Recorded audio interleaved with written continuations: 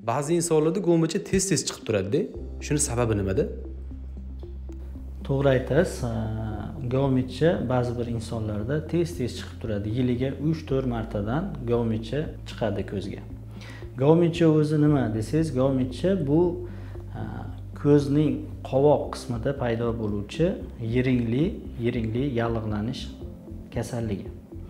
Bu ko'proq kipriklarni ildizida paydo bo'ladi. Har bir soch tolasini o'zini ildizi bo'ladi. Kipriklarni ham ildizi bo'ladi. Va shu ildiz xaltachasida yiringli jarayon paydo bo'lishi bu geometriya deyiladi. Bunga sabab stafilokok turkumiga kiruvchi tillarang stafilokok deymiz. Shu bakteriyalar geometriyani keltirib chiqaradi. Bu bakteriyalar to'g'ridan to'g'ri ko'zga o'sha kipriklardagi ildizlariga tushishi hisobiga kelib chiqadi bu narsa. Ya'ni bu bakteriya qanday tushishi mumkin ko'zga kipriklarni ildizga?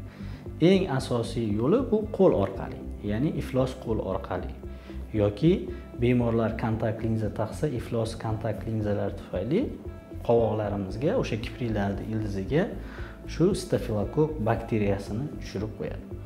Va shuni natijasida bu yiringli yallig'lanish gomitcha kelib chiqadi.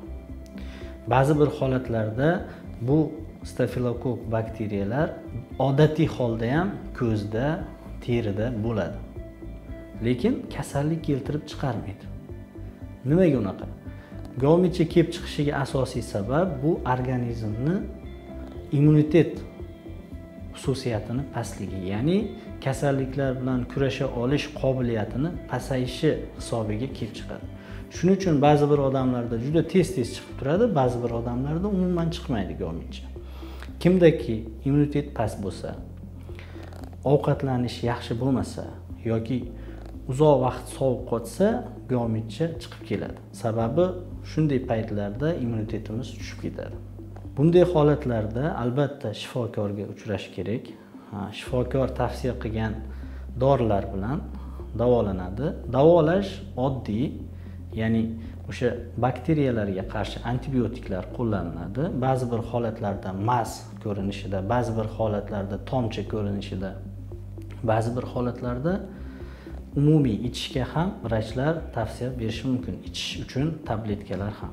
Gomicha chiqqan bemorlarga shifokorlar talab qilishadi.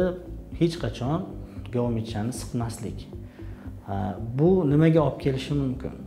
Gomicha qo'l bilan siqilganda yiring ichki tarafga ya'ni ko'zning ichiga yoki burun bo'shliqlariga yoki miyaning bo'shliqlariga o'tib qolishi mumkin. Bu juda katta asoratlarga olib kelishi mumkin. Gomicha shunisi bilan xavfli hisoblanadi. O'zi e, yengil kasallik agar vaqtida davolansa e, hech qanday asoratsiz o'tib ketadi. Lekin e, gomichani qo'l bilan siqadigan bo'lsa yiring ichkariga qarab yurishi mumkin va hattoki o'limga ham olib boradigan kasalliklarimiz bor.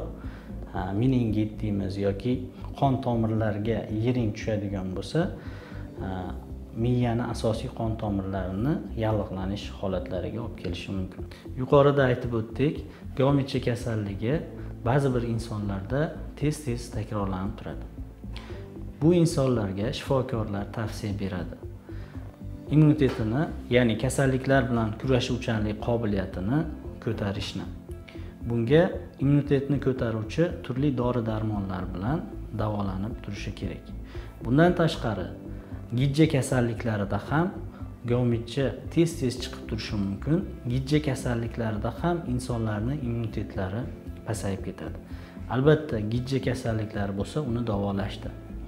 Va bunday insonlarga sovuqda qolmaslikni va uzoq vaqt och yurmaslikni shifokorlar tavsiya beradi.